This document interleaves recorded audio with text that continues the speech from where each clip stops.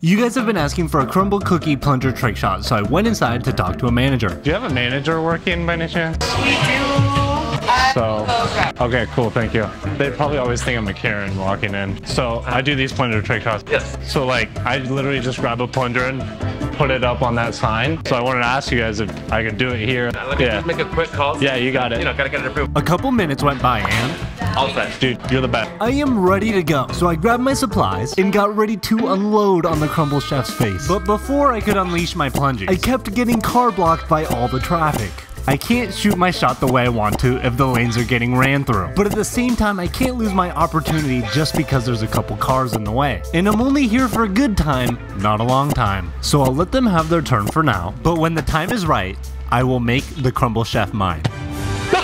That's dead center. It doesn't get better than that. No way. Yeah. Thank you so much. You guys are so awesome.